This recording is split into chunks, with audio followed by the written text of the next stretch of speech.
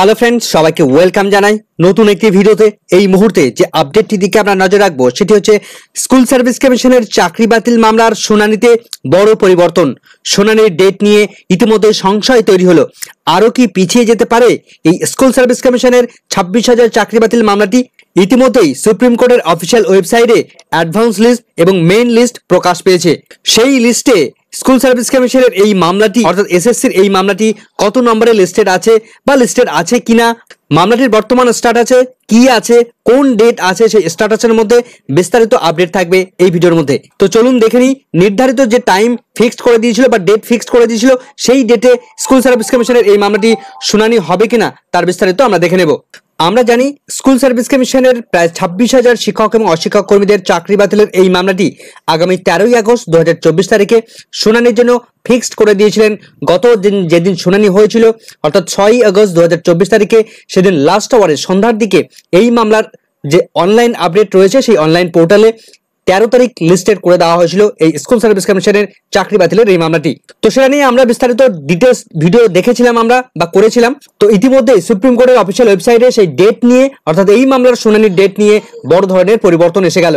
তো এই তেরোই আগস্ট দু হাজার চব্বিশ তারিখের দুটি লিস্ট ইতিমধ্যে প্রকাশ পেয়েছে সুপ্রিম কোর্টের অফিসিয়াল ওয়েবসাইটে সেখানে আমরা দেখতে পাচ্ছি, তেরো তারিখের, অর্থাৎ তেরোই আগস্ট তারিখের যে অ্যাডভান্স লিস্ট এবং যে মেইন লিস্ট প্রকাশ পেয়েছে, সেখানে সরাসরি এই দুটি লিস্ট আমরা দেখে নেব এবং বর্তমান স্ট্যাটাস আমরা দেখে নেব। তো সরাসরি প্রথমে আমরা চলে যাব এই মামলার বর্তমান স্ট্যাটাসের অ্যাডভান্স লিস্টে তো মিসলেনিয়ার্স এর মধ্যে অ্যাডভান্স লিস্ট সেই লিস্টে আমরা চলে এসেছি। তো প্রথম থেকে আমরা যেটা দেখতে পাচ্ছি, যে দেখুন আমরা দেখতে পাচ্ছি সুপ্রিম কোর্টের অফিসিয়াল যে website miscellaneous matters to be listed on তেরো আট দু হাজার চব্বিশ তারিখ। অর্থাৎ তেরোই আগস্ট দু হাজার চব্বিশ তারিখে যে সমস্ত অ্যাডভান্স লিস্ট ইতিমধ্যে প্রকাশ পেয়েছে, সেই টেন্টেটিভ লিস্ট যে সমস্ত মামলাগুলো রয়েছে, যে মামলাগুলো লিস্টেড হয়েছে, সেই মামলাগুলোর লিস্টে আমরা চলে এসেছি। তো পরপর এক থেকে দু নম্বর এভাবে সিরিয়াল করা রয়েছে। তো এই লিস্টে টোটাল একশো বিরাশিটা পেজ রয়েছে। সুতরাং এতটা টোটাল সিরিয়াল নাম্বার ধরে ধরে যদি আমরা দেখতে যাই, তাহলে অনেকটা টাইম লেগে যাবে। তো আমরা এফটিকে সার্চ করে দেখব। তো ল্যাপটপ হলে আমরা কন্ট্রোল এফ চেপে সার্চ করতে পারি। বা মোবাইলের পিডিএফ থেকে উপরে সার্চ বাটন রয়েছে, সেখান থেকে আমরা সার্চ করতে পারি। তো কন্ট্রোল এফ আমরা চেপেছি। কন্ট্রোল এফ চাপার পর এই মামলার যে মূল যে ডায়েরি নাম্বার সেটা হচ্ছে one double eight double two তো আমরা চাপার পর দেখতে পাচ্ছি যখন এখানে সার্চ রয়েছে জিরো জিরো অর্থাৎ কোনো রকমভাবে এই অ্যাডভান্স লিস্টে সেখানে কোনো রকমভাবে এই স্কুল সার্ভিস কমিশনের চাকরি বাতিলের এই মামলাটি লিস্ট করা হয়নি বা লিস্টেড হয়নি। তো এবার মামলার ডায়েরি নাম্বার না দিয়ে আমরা যদি এবার মামলাটির যারা রেসপন্ডেন্ট রয়েছে, বৈশাখী ভট্টাচার্য চ্যাটার্জি, তার নাম ধরে যদি আমরা সার্চ করি, তাহলে আমরা কি দেখতে পাই? যদি আসে দেখি তো আমরা সার্চ করেছি। সার্চ করলেও দেখুন বৈশাখী লিখে সার্চ করেছি, কিন্তু কোনো রকম এখানে জিরো জিরো শো করাচ্ছে। সুতরাং কোনো রকম ভাবে যে অ্যাডভান্স লিস্ট প্রকাশ পেয়েছে, সেখানে কিন্তু এই স্কুল সার্ভিস কমিশনের চাকরি বাতিলের মামলাটি অ্যাডভান্স লিস্টে কোনো স্থানেই কিন্তু কোনো রকম ভাবে জায়গা পায়নি এই স্কুল সার্ভিস কমিশনের ছাব্বিশ হাজার চাকরি বাতিলের মামলাটি। তো এখানে টোটাল আটশো তিয়াত্তরটি মামলা রয়েছে।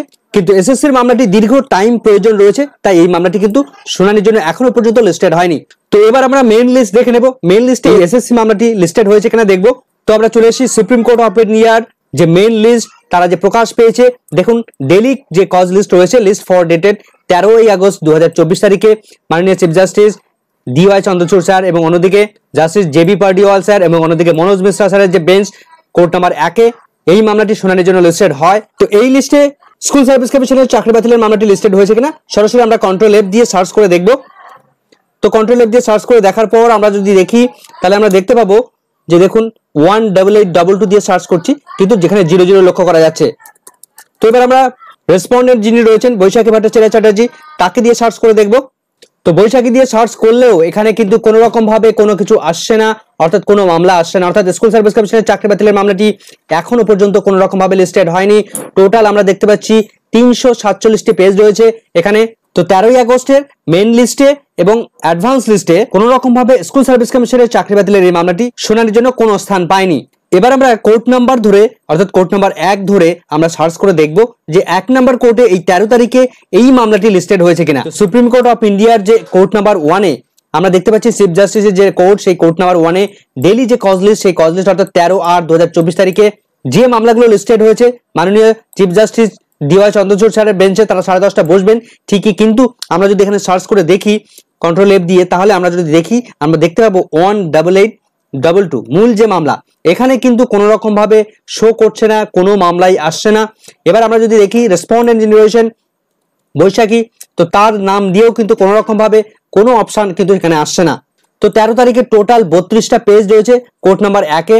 তো আমরা যদি লাস্টের দিকে একটু যাই, তাহলে আমরা দেখতে পাই কতটা মামলা এই তেরো তারিখে শুনানির জন্য লিস্টেড হয়েছে। তো আমরা দেখতে পাচ্ছি যে দশ নম্বর এখনও পর্যন্ত চলছে। তো একটা মামলার সঙ্গে অনেকগুলো মামলা ট্যাগ হয়ে আছে, অর্থাৎ one point something one point two one point three এভাবে কিন্তু মামলা ট্যাগ হয়ে আছে। তো টোটাল আমরা দেখতে পাচ্ছি তিনশো এক নাম্বার সিরিয়াল লাস্ট আমরা দেখতে পাচ্ছি। তো একটা মামলার সঙ্গে কিন্তু অনেকগুলো মামলা ট্যাগ হয়ে আছে। তো তিনশো একটি মামলা থাকলেও স্কুল সার্ভিস কমিশনের মামলাটি শুনানি করানোর জন্য কোনো রকম ভাবে লিস্টেড হয়নি। এবার আমরা এই মামলার বর্তমান স্ট্যাটাসটা দেখে নেব। তো আমরা এসএসসি চাকরি বাতিল মামলাটির বর্তমান স্ট্যাটাসে চলে এসেছি। তো আমরা ডায়রি নাম্বার দেখতে পাচ্ছি one double eight double two দু হাজার চব্বিশের। যে মামলাটির পিটিশনার রয়েছেন the state of West Bengal versus respondent রয়েছেন বৈশাখী ভট্টাচার্য চ্যাটার্জি। ডায়রি নাম্বার এখানে উল্লেখ দেখতে পাচ্ছি আমরা। এবং কেস নাম্বার আমরা দেখতে পাচ্ছি নাইন ফাইভ এইট সিক্স দু হাজার চব্বিশের। মামলাটি প্রেজেন্ট এবং লাস্ট লিস্টেড হয়েছিল ছয়ই আগস্ট দু হাজার চব্বিশ তারিখে। এই দিন একটু শুনানি হয়েছিল মাননীয় চিফ জাস্টিস এবং জেবি পার্ডিওয়াল স্যার এবং অন্যদিকে মনোজ মিশ্রা স্যারের বেঞ্চে মামলাটির বর্তমানে স্ট্যাটাস রয়েছে বা স্টেজ রয়েছে পেন্ডিং বা মোশন হিয়ারিং এর জন্য রয়েছে ফাইনাল এক্সপোজের জন্য রয়েছে। তো এখনও তো এখনও পর্যন্ত এখানে নট টেকেন আপ কোন রকম ভাবে টেকেন করা হয়নি।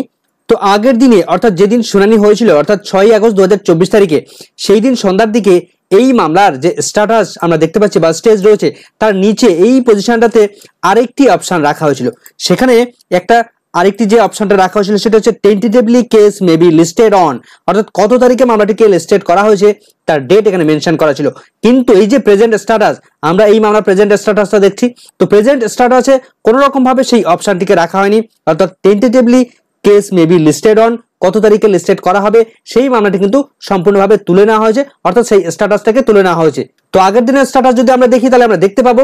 তো আমরা চলে এসেছি প্রিভিয়াস স্ট্যাটাসে আগের স্ট্যাটাসে আমরা চলে এসেছি, দেখুন, এখানে স্ট্যাটাস এবং স্টেজে রয়েছে, দেখুন, তার নিচে রয়েছে tentatively case may be listed on কত তারিখে? তেরো আট দু হাজার চব্বিশ তারিখে। অর্থাৎ তেরোই আগস্ট দু হাজার চব্বিশ তারিখে কম্পিউটার জেনারেট ডেট ওই দিন এসএসসি চাকরি বাতিল মামলাটি শুনানির জন্য ফিক্সড করে দিয়েছিলেন। প্রিভিয়াস স্ট্যাটাসে আমরা দেখেছিলাম। কিন্তু বর্তমান স্ট্যাটাসে আমরা যদি দেখি, তাহলে এখানে কিন্তু কোনো রকম ভাবে সেই ডেট মেনশন করা নেই, সেই ডেট সম্পূর্ণভাবে তুলে দিয়েছে সুপ্রিম কোর্টের ওয়েবসাইট থেকে। তো বোঝাই যাচ্ছে, এই মামলাটি এই দিন কিন্তু, অর্থাৎ তেরো তারিখ কিন্তু শুনানি হবে না এটুকু বোঝা যাচ্ছে। তো পরবর্তী কোনো আপডেট আসে কিনা বা কোনো সংযোজন, বিয়োজন হয় কিনা, সে বিষয়ে আমাদের নজর থাকবে। আপাতত ভিডিওটি এখানে শেষ করছি। ভিডিওটি সম্পূর্ণ দেখার জন্য সকলকে ধন্যবাদ।